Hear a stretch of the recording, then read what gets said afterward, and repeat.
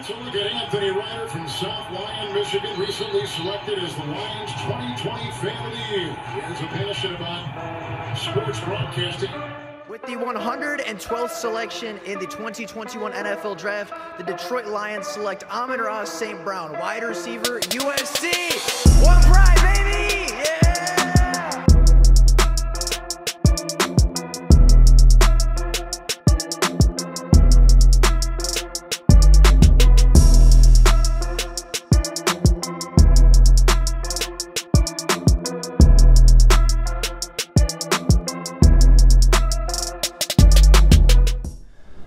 Going on everybody? Welcome back to another Lions video.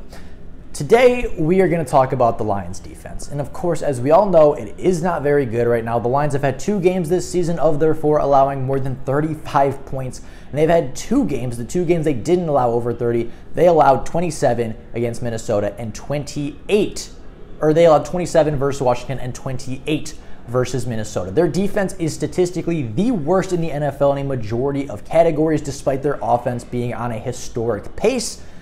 And today, we're going to take a look at this defense. We're going to take a look at what's not working, why the Lions aren't having a very good time on the defensive side of the ball, and what the Lions can do to fix this defense to even be somewhere close to below average so the Lions can start winning some football games in the NFL. So, with that being said, and without any further ado, let's get into taking a look at the Lions defense, where they're struggling, and how they can fix this team for the rest of the 2022 season. Now, starting off with some substitutions. I do think the Lions need to start playing some different players because the guys on the field simply aren't getting the job done right? And when I say I think these players should stop being starters, it doesn't mean I think they should stop having an impact on the team, but there are players that I think in depth positions are outplaying a large majority of our starters up to this point. And these are the players I think should be starting in week five for the Detroit Lions. First off, I think Ifeatu Melifonwu absolutely has to start. I think that whether it's at cornerback replacing Amani Oruwariye,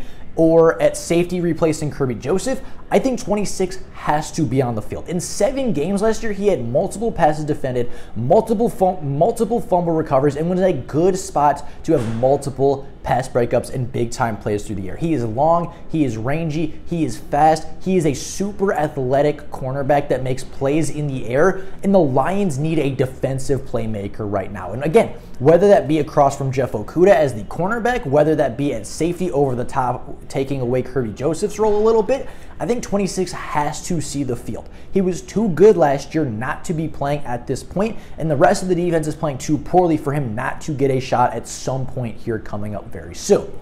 Now, another substitution I would like to see the Detroit Lions make is Derrick Barnes for Alex Anzalone. I think the Lions have three linebackers that are playing at a legit average NFL linebacker right now.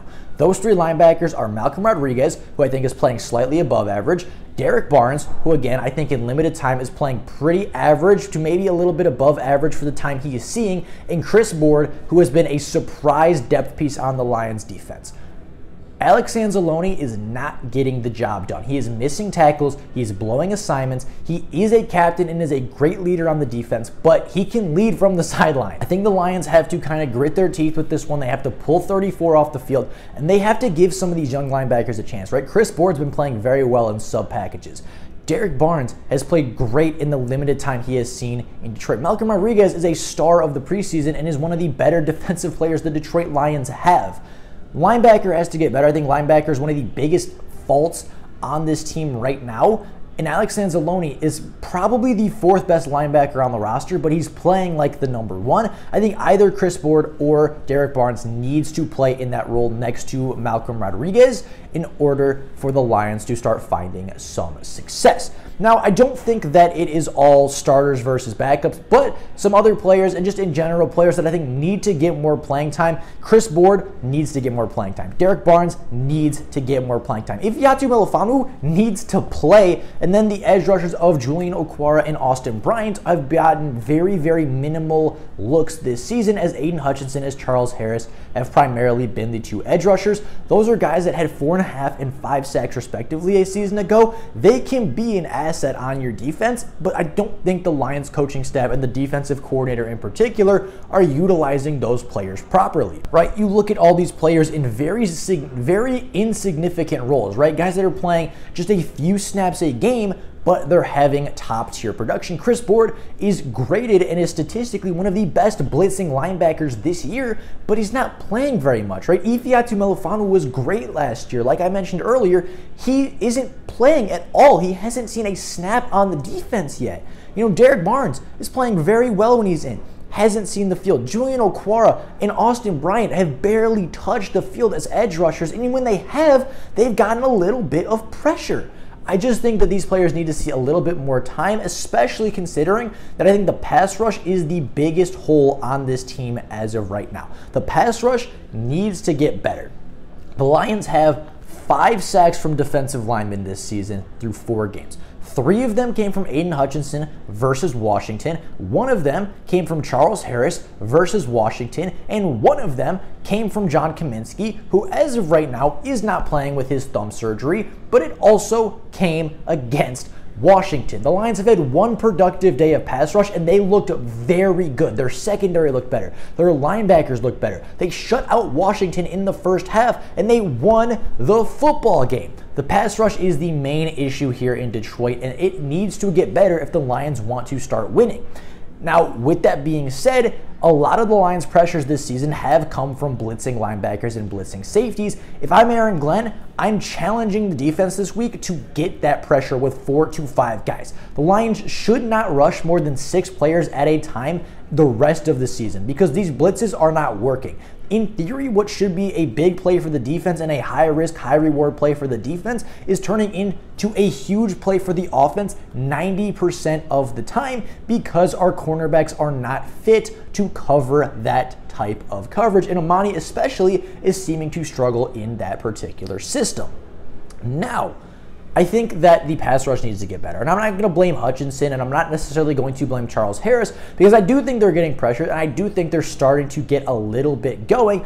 I will blame the interior of the defensive line because I do not think they are being good enough. And to their credit and to their defense, they are playing very, very bare boned right now at the defensive line position, right? Levi Onwuzurike is out for a long time and maybe even the rest of the season. Josh Paschal, their second round pick, has not seen the field yet. John Cominsky, a guy they kicked inside multiple times, is no longer playing, and Demetrius Taylor has been a healthy scratch every single game as of this far. They don't have a great pass rusher on the defensive line to this point on the interior, other than Michael Brockers, who is probably our best one, but again, he's 31 and he's not the player that he used to be. The Lions need to find a way to generate pressure on the interior of the line without blitzing two to three linebackers on every single play.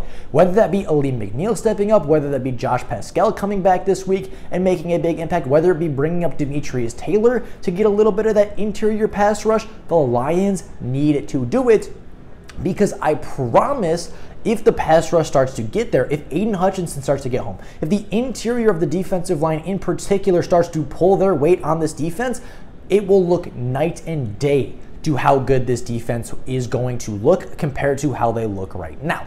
Now, I'm not going to say that it is all on the defensive line because the secondary does need to play better. As I said, when you send that kind of pressure, when you send two three linebackers and a safety every single play. When you send seven and leave three to four in coverage, those guys have to be able to hold up. And as of right now, the only guy doing so is Jeff Okudah. Amani Oruwariye has not played his best game. Mike Hughes has not been playing his best football as of right now. And as of going into week five, Mike Hughes is allowing a quarterback rating of 134.2 when targeted, and Will Harris is giving up a quarterback rating of 106.9. I'm not aware of what Kerby Josephs is because I don't think he had enough targets to qualify for the statistic, or at least the ones I was looking at didn't have a number for him. But I'm assuming his is not very good either. Now, Amani is averaging about a 74 and a half QBR when targeted, and Jeff Okudah is just under a 73, if I remember correctly. So the boundary corners are not doing a horrible job when they are getting a little bit of help and when they are actually playing in a defense that doesn't leave wide open people in the middle of the field But the cornerback play in general has to get better. Whether that be Chase Lucas coming in a little bit, whether that be, again, Ifeatu Melifonwu coming in a little bit at this point, I think that there are players on this team that can help the defense get better. And then, of course, you have the missed tackles, right? 18 missed tackles in four games, three of them coming from your captain and Alex Anzalone actually leads the team in missed tackles for the second year in a row things need to change in Detroit. I think that some players that are playing well as backups need to get an opportunity to start. I think that some players that showed potential last year need to get more playing time this year on the field. Particularly, Ifeatu Melifonwu has to play. Demetrius Taylor, I think, should get an opportunity to rush the passer from the interior of that defensive line. And I do think that Derrick Barnes and I think that Chris Board and the Okwara and Julian Okwara and Austin Bryant need to get more playing time because Aidan Hutchinson cannot do this by himself. Jeff Okudah cannot do this by himself. Malcolm Rodriguez cannot do it by himself. And until the Lions can get healthy, until they can get Cominsky and Paschal and Levi and Romeo back on the defensive line, they're going to be thin for a little while. They're going to have to kind of dig deep at that defensive line position for a little while. But I think that they can do it. They just need the right personnel and they need to be able to generate that pressure up front early and often. But with that being said, I do think there is hope on the horizon, right? Josh Paschal is eligible to return this week, and if he doesn't return this week, I think there is a lot of optimism that he could potentially return after the bye week as the Lions travel to Dallas. Same thing goes with Romeo Okwara. I don't know if he's going to come back right after the bye, but we are in that territory where any given week we should be getting news on Romeo Okwara, and he himself said in interviews that he expects and is optimistic that he will play a large part of this season. And at this point, I think we should expect Romeo back at any point. Levi, I'm not entirely sure what his deal is. He hasn't been placed on injured reserve, but he also hasn't been announced to be coming back anytime soon, so that's a little bit confusing. John Cominsky has yet to be put on IR, meaning he could potentially return at any week. He's been out two. They placed him on IR. They could have been out for four, and that would have opened up a roster spot. They clearly believe that he is potentially going to come back any day now, and I do think that that will help the pass rush as well. But the Lions need to find a way to survive until these players come back. Whether it be Demetrius Taylor, whether it be you know finding somebody in free agency, whether it be whatever method you have to do to gain that pass rush, that's the missing key for the Lions right now. Is that interior pass rush and that interior dominant force. I think Paschal could potentially do that. I think John Cominsky helped with that. I think Demetrius Taylor can do that. And in doing those things, I think the rest of the defense will look much better. But with all that being said, that's all I got for you guys today. Let me know down in the comments below. What do you think about this defense? What do you think their biggest problem is? And how do you think the Lions fix the worst ranked defense in the NFL so that the offense can get just a little bit of help going forward? I'd be very curious to you guys think. But with all that being said, that's all I got for you guys right now. Thank you all so much for watching. Until next time, and as always, go Lions.